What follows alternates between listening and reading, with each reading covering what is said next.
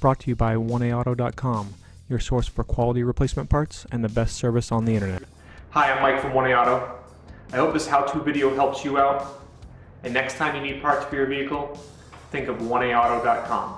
Thanks. In this video, we're going to show you how to replace the uh, power outlets and cigarette lighters as well as the bezels. This is a 2008 Dodge Ram, but this process is similar for many different vehicles. Items you'll need are new uh, outlets and uh, lighters and bezels from 1AAuto.com, and a flat blade screwdriver with some painter's tape or a plastic prying tool. To remove your center dash trim, we're going to use a flat blade screwdriver with some painter's tape on it or non-marring plastic pry tool if you have one. Feel around the edges, pry out until you get a tab to pop. Carefully move along, pop out the rest of the tabs. So you can pull out the whole panel, move it around your shifter column and lay it out flat. While you don't have to remove all of these connectors, it's going to give us a lot more room to work. So we're going to go right across. Each connector is different. Move our accessory power, our passenger heated seat switch. Push down on the tab to release the power sliding window switch. the two connectors for the climate control panel, your traction control, driver's heated seat, cigarette lighter, your four-wheel drive selector. To remove your power outlet, pop off the cover, push out, on the socket. From there, if you need to replace the trim ring as well, you'll see there's a little notch here and a tab on the bezel.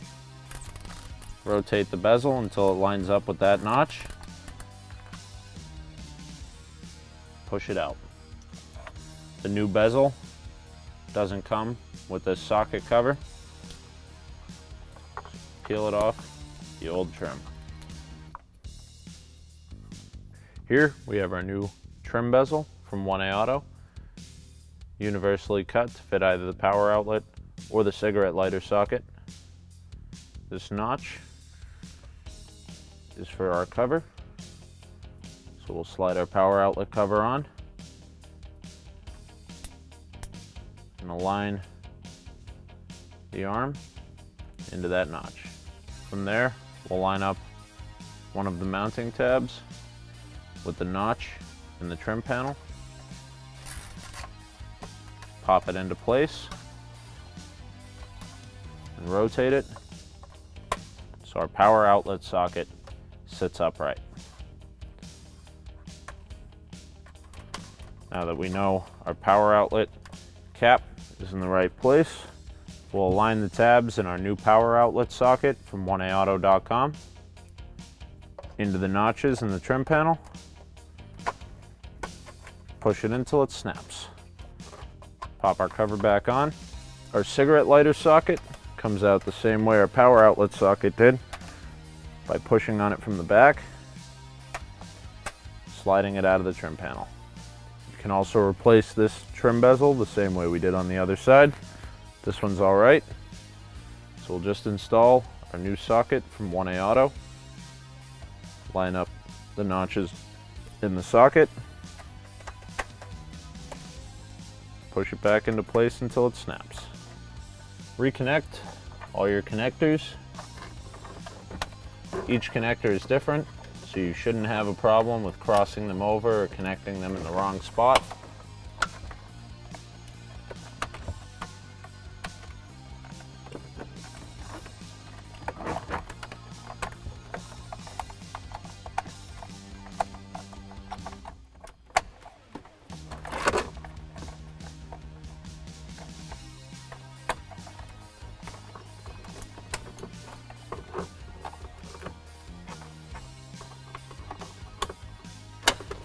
Slide your dash